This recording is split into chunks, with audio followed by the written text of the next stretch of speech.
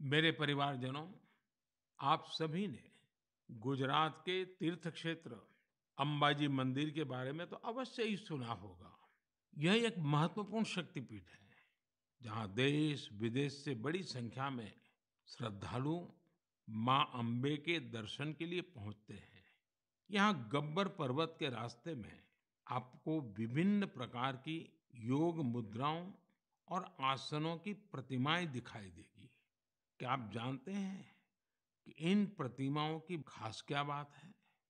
दरअसल, ये स्क्रैप से बने स्कल्पचर हैं। यानी एक प्रकार से कबाड़ से बने हुए और जो बेहद अद्भुत है, यानी ये प्रतिमाएँ इस्तेमाल हो चुकी कबाड़ में फेंक दी गई, पुरानी चीज़ों से बनाई गई हैं।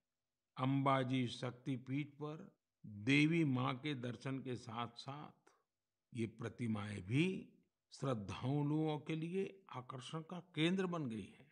इस प्रयास की सफलता को देखकर मेरे मन में एक सुझाव भी आ रहा है।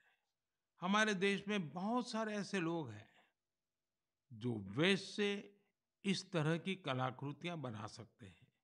तो मेरा गुजरात सरकार से आग्रह है, वो एक प्रतियोगिता शुरू करे और ऐसे लोगों को आमंत्रित करे। ये प्रयास गब्बर पर्वत का आकर्षण बढ़ाने के साथ ही पूरे देश में वेस्ट टू वेल्थ अभियान के लिए लोगों को प्रेरित करेगा। साथियों, जब भी स्वच्छ भारत और वेस्ट टू वेल्थ की बात आती है तो हमें देश के कोने कोने से अनगिनत उदाहरण देखने को मिलते हैं।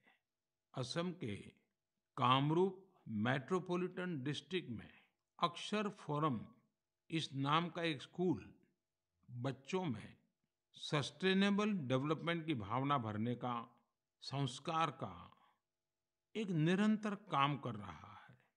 यहाँ पढ़ने वाले विद्यार्थी हर हफ़्ते प्लास्टिक वेस्ट जमा करते हैं, जिसका उपयोग इको फ्रेंडली ईंटें और चाबी की चेन जैसे सामान बनाने में होता है।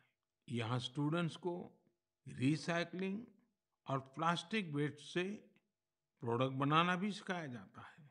कम आयु में ही पर्यावरण के प्रति ये जागरूकता इन बच्चों को देश का एक कर्तव्यनिष्ठ नागरिक बनाने में बहुत मदद करेगी।